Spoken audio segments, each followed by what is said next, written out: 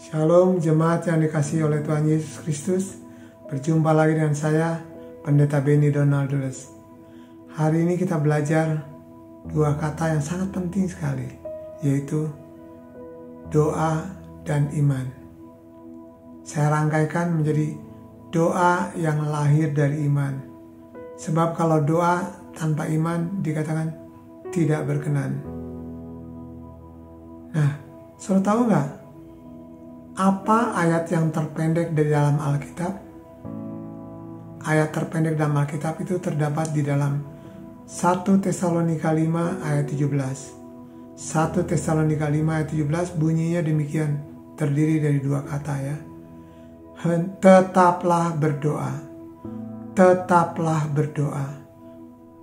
Bahasa Inggrisnya pray without ceasing atau berdoa tanpa berhenti.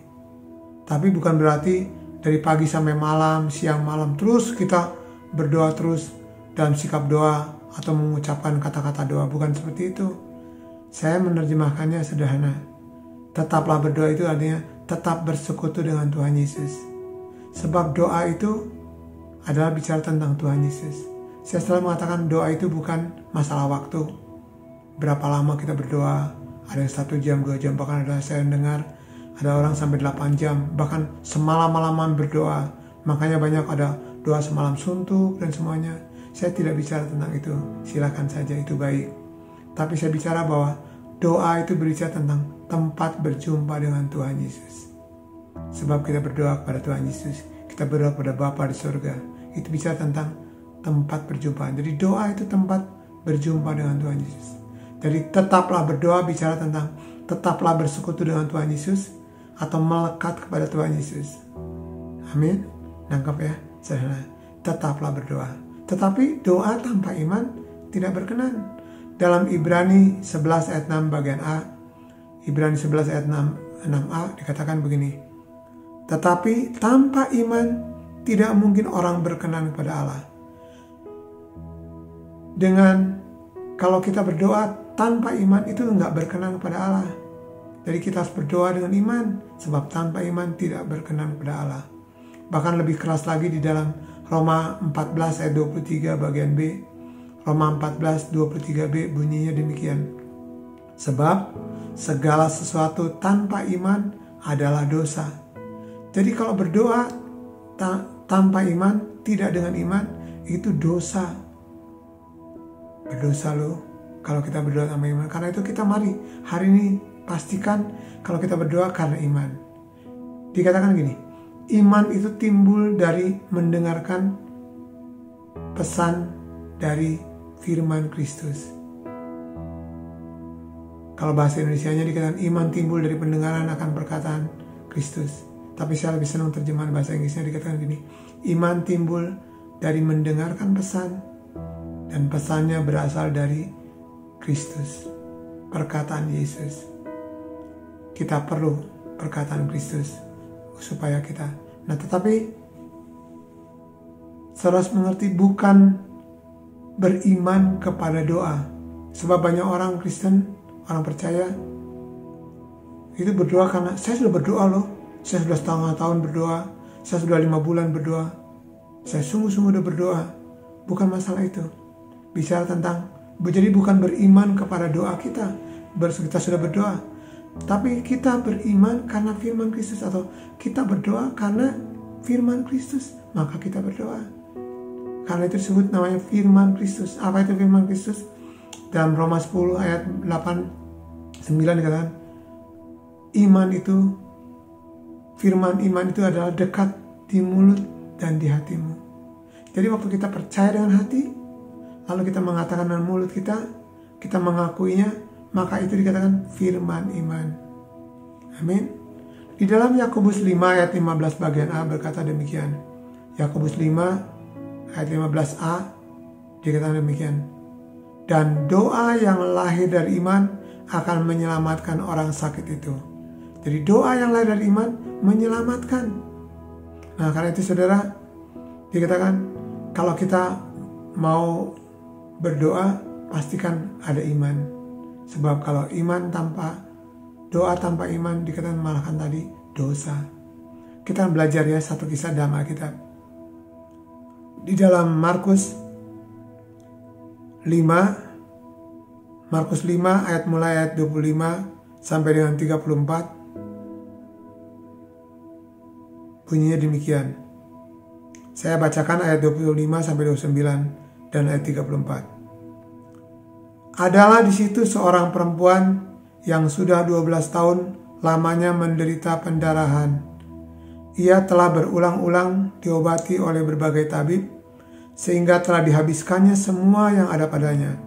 Namun sama sekali tidak ada faedahnya. Malah sebaliknya keadaannya makin memburuk.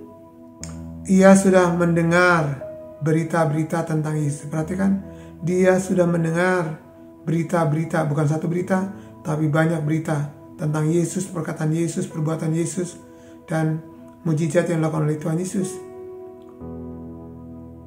Maka di tengah-tengah orang banyak itu, ia mendekati Yesus dari belakang dan menjamah jubahnya.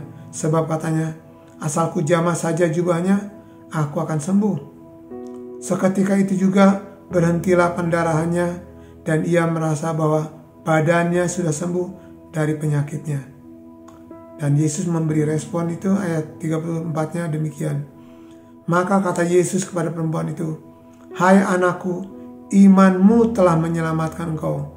Pergilah dengan selamat dan sembuhlah dari penyakitmu. Jadi perhatikan saudara langkahnya. Perempuan ini punya penyakit pendarahan 12 tahun.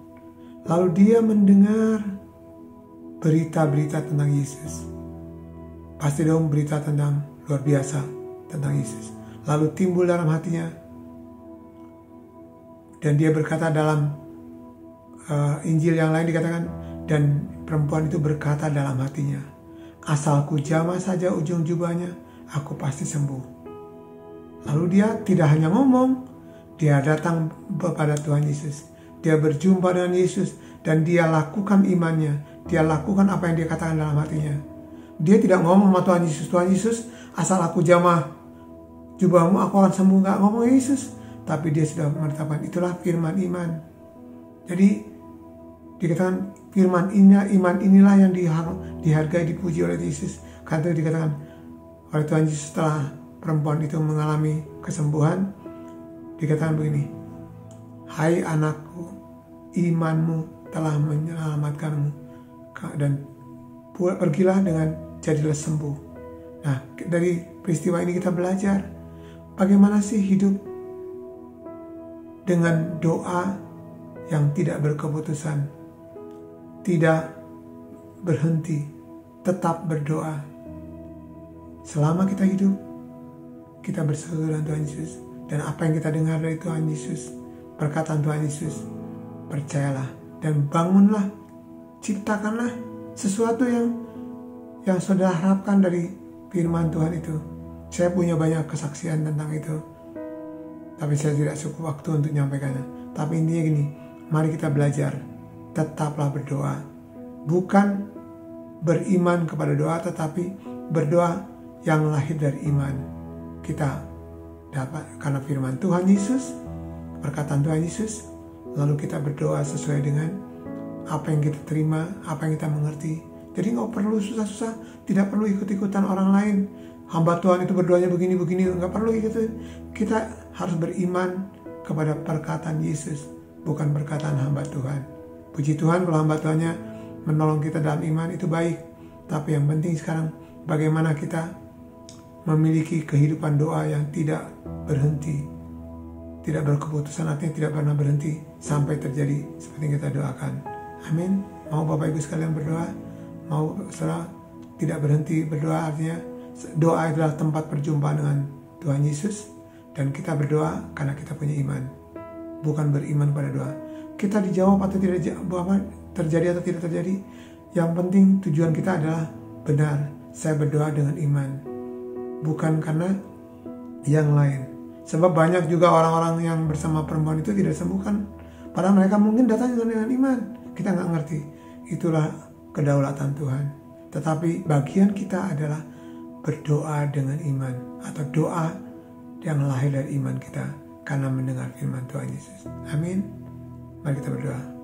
Bapa mengucap syukur, biarlah firman iman itu bekerja di dalam setiap anak-anak Tuhan yang mendengarkan pesan firman Tuhan. Sehingga setiap hari iman timbul dari hati kami. Karena firman iman, firman Yesus yang selalu berbicara pada kami. Dan kami tidak pernah berhenti bersekutu dengan Tuhan. Dan doa adalah tempat perjumpaan dengan Tuhan. Kami tidak mau lepas dari ikatan dengan Tuhan. Kami mau terus bersekutu dengan Tuhan. Kami mau melekat kepada Tuhan selama-lamanya. Dalam nama Tuhan Yesus. Haleluya. Amin. Tuhan Yesus memberkati.